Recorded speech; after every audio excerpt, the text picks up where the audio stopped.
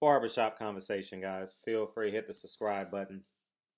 Um, yeah, man. So we coming up onto a fight, but I want to talk about something because you know I have to give my own self credit as it relates to uh, um, um, uh, telling people win fights.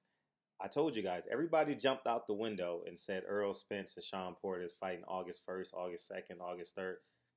I was the only media member, the only media member that said, no, they're not fighting August 3rd, August, whatever date that was. Who ended up being right? Me. Errol Spence just posted on his Instagram story, I am not fighting in August. So y'all can go listen to all the motherfuckers. They gonna say, "Oh, this little black dude is crazy. He don't know nothing. He, you know." I know all the fight dates. I know everything. I don't know everything, but you know, I told you between Top Rank and PBC, I have a great grasp of what's coming up and what's coming through the pipes. You know, but I, I told you guys, they are not fighting August. Everybody reported it. Everybody, you name it. Your, your favorite white media member, your favorite black media member, your favorite Mexican media member, and I was stood alone on this little on this little island and said, no, they're not fighting in August.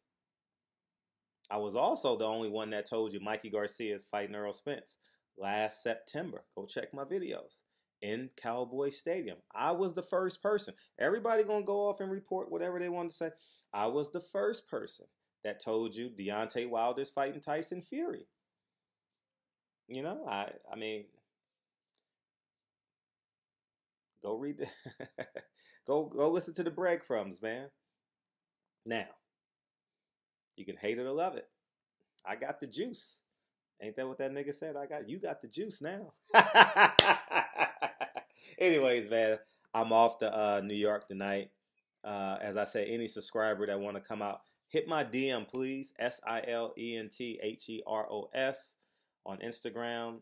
I actually want to go see Malcolm X Saturday morning. I actually want to go have lunch and get some uh, Malcolm X uh, Malcolm X clothing and stuff uh, because this weekend in Harlem is Malcolm X weekend.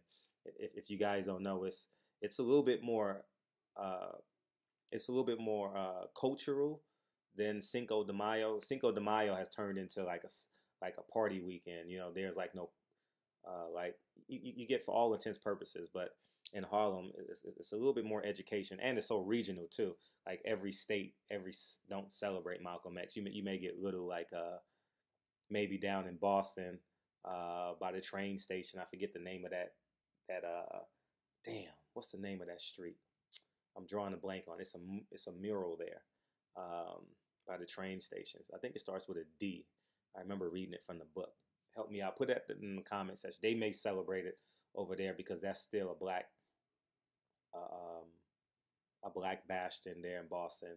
They have like uh, street merchants and stuff like that. So, uh, but Harlem is going to be fun this weekend. So I want to try and get to Harlem while I'm in New York Saturday morning. Maybe from like 7 to 12, I'll spend some time down in Harlem and then make it back by the fight by like 1 or 2. But we'll see. So anyways, man, barbershop conversations, man. Feel free to hit the subscribe button. I salute y'all, I honor y'all. But, you know, y'all better start listening to me. But it's, it's okay.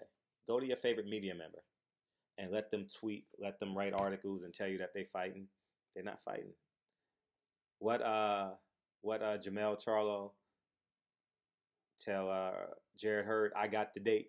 And what Jarrett Hurd say, I got the date. Who you gonna believe? Me or them? Barbershop conversations, man. Feel free to subscribe. But I, I I had to come on and substantiate my claim. So, anyways, man, Barbershop gotta take this call. Feel free to subscribe button. Talk to you soon. Peace.